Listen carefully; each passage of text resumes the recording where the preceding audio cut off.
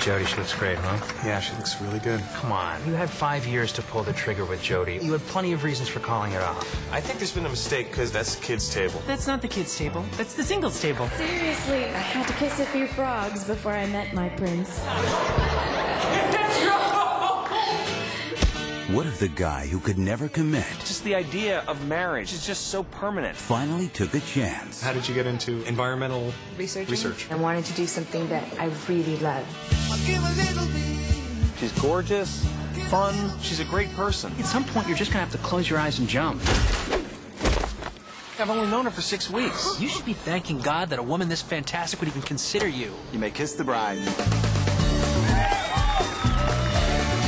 Can you believe it? I finally took the plunge. I got the next three weeks off. We're road tripping it down to Cabo. You got a pretty good voice there. You're going to be hearing a lot of it for the next 40 or 50 years. Yo, I'll tell you what I want, what I really, really want. Come on, shake your body, baby, do that conga. No, you can't control yourself any longer.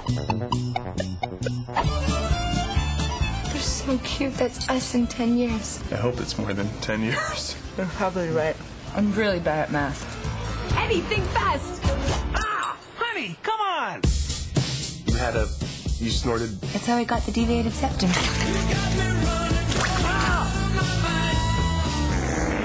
That wasn't what you think it was. What? I didn't hear anything. So how's Lila? I'm telling you, the second we got married, it's like a switch flip. Oh, I love it. What's the matter, Eddie, you little girl? She's a nightmare, Mac. yeah. Go away. Wait, what? Are you serious?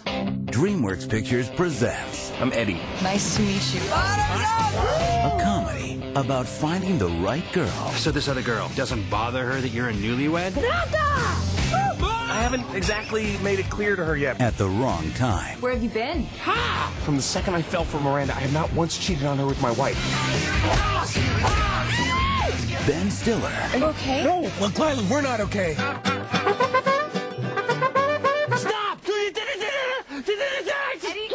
The Heartbreak Kid.